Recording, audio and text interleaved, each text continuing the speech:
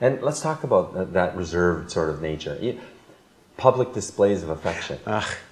Not very often, not the real ones. Even holding hands. Uh, maybe of the maybe the little girls, maybe the young girls. I don't know. But we're talking about We're talking about real serious Yeah, women here. that wanna wanna marry and have- No, they're not big on public displays of Even hand holding. Some of them Not- uh, yeah. don't like to No. hold hands in public. Definitely not kissing in public. I've had very few uh, mature, real women Mm-hmm. that uh, really wanted to have that kind of a, of a public display.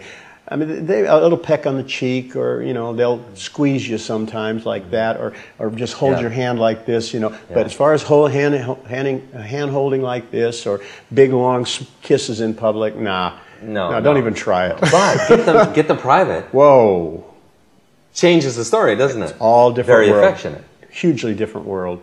They're about, Yeah. would you agree, they're about pleasing their man. They they In every way. they love it. They love Uh, it's satisfying to them Mm-hmm. to make you happy. Uh, they they want you to make them happy, and in turn, they will make you very happy. Mm-hmm. Yeah. If you Uh, if you fulfill their needs, they want to rock our world, don't they? They do, they do, and they can. They They're can. they're wonderful women, They're wonderful. and they're They- women they- in the greatest, in the best sense of the word. In the It's very worth the journey, isn't it? Would you say? It is. It like, is. would you? Cha- would, uh, you're still on your quest to find a good wife in the Ukraine. But the journey's been up and down, Mm-hmm. and I've had uh, some good relationships that, uh, for sometimes my fault, sometimes theirs, it, it just didn't work out long term. Mm-hmm. You know, that's just kind of life. I when you're trying to do everything on your own without. No, were Uh, these women uh, appropriately close to your age?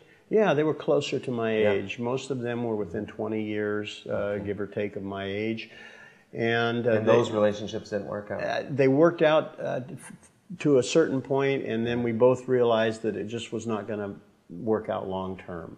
And most of the time, we uh, we separated uh, happily. But in the meantime, building the relationships, uh, uh, they were just uh, absolutely wonderful women, absolutely wonderful. I kick myself many times for not, you know, jumping in and, and marrying, or at least asking them to, if they'd marry me anyway, even when I knew it wasn't right. so I'm, I, when, you, when you knew it wasn't right. well, you know, sometimes you, uh, you work into a relationship, you know, and you do it uh, tentatively because you're not sure. So you kind of start working a relationship out together, and uh, and it can go really good for a while, and then pretty soon there are conflicts, uh, and if you can't work those conflicts out, whether it's a language barrier or a cultural conflict barrier, or maybe different uh, goals in life. Maybe you find out that uh, you're both going in different directions. There's no compatibility.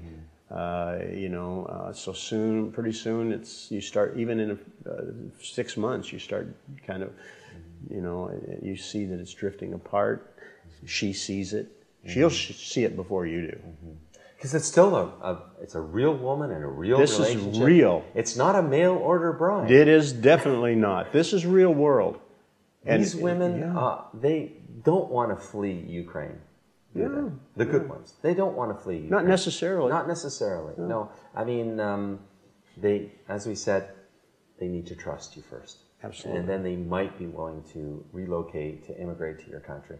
But it's not like we think when we're back home watching all the videos that these women will do anything for a ticket out of the Ukraine. Uh, these women will do anything to latch onto a guy with money that can provide. That's not the case at all. And there's some like that, I'm sure. But the majority of these women that are No, I'm serious, talking about the good ones. Yeah, the yeah, the good ones. Uh, uh, the basket of scammers. Yeah, we'll just leave those yeah, aside. we're not talking about. I'm talking about Yeah. the, the serious women that are looking. Which, in your experience, would you say? Let me ask you that question. Uh, on the dating sites, the marriage agency Hmm. sites, how many do you think are serious? The basket of serious women genuinely looking to fall in love and marry you versus the basket of scammers. What's that proportion, do you think? And, I know it's a guess, but It's a you've a lot of experience. Yeah, so and I've talked got a good to guess. I've talked to uh, nu- numerous people in the industry that I know that were uh, Plus, in the at one time. You've met a lot of Western men clients here in your time in Ukraine. Uh, less than ten percent are are serious. less than 10%. So 90%. I'd say ninety percent are not serious and or in that other basket. in that other basket of not serious and or false intentions, Mm-hmm. maybe scammers, all in that basket. So when you just come over here willy nilly style on your own, you're looking at ninety percent probability of it ending up in a happy, unhappy rather ending. Yes, I agree with that. It's been my experience. I, I would say that uh, the women that I have met uh, through these agencies that I have met, uh, 90% of them were either false or just not indifferent, not serious. It was not what they really wanted. Some hidden agenda. Yeah, they had a hidden agenda. Maybe they were being paid to meet me. But you can tell. You, You can can tell it in the right body language bat. they're into you or not. That's instantly, you know whether they're serious or not. Wow. So I see how your advice. You got to find a, a good agency. Yes. That vets out the women, personal interviews, and have some way of knowing, uh, some matchmaker that knows that they're real, and then and then matches you with the lady. I agree. That would stack your deck for success. Big time. Because, uh, as I said, if 90% of the women on there are not serious, only 10%, and that could be a big, I, I might be being very generous in that. It With may the be, 10%? Yeah, I was probably being very generous. So if there are only 10% of those people on there, what is your chances of connecting with one of those and actually building a relationship, even if they are serious? Very Because- small. So, so let me just clarify. In this 10 years that you've been Mm-hmm. looking for love, looking for a good wife in the Ukraine, you've never uh, been able to find an agency that vets their ladies and you know they're good quality, serious ladies. You've not looked to, gone that route. You've gone more the letter writing and the do it yourself route. Yes, yeah, I have. And do you think And- and- that's a big part of, of why you've been unsuccessful? I think so. Um, I would imagine that there are some people who are successful with the letter writing agencies. It has not been Well, it's a billion dollar industry. I there mean, got to be some success. There's got to be some successes, and so uh, I, I just I have, am not.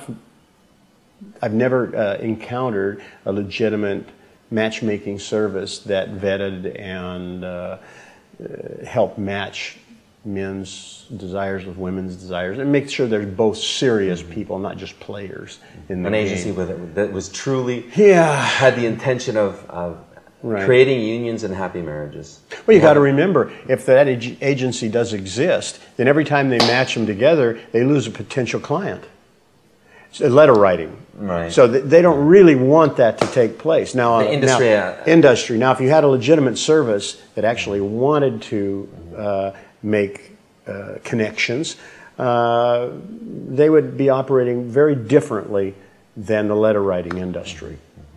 Uh, they would be uh, legitimate. They would, their successes would be their advertising, uh, and I believe that they would develop a, an honest business here in Ukraine. I agree with you, Art. I can't thank you enough for being so raw and real with us here today.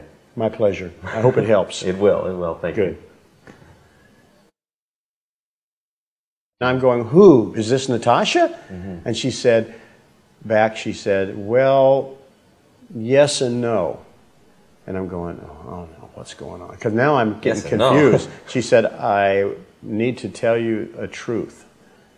And I, I have to be very careful because I could lose my job if you tell m- what's going on. And I said, what's going on? You know, I'm going like, I don't even know what's going on.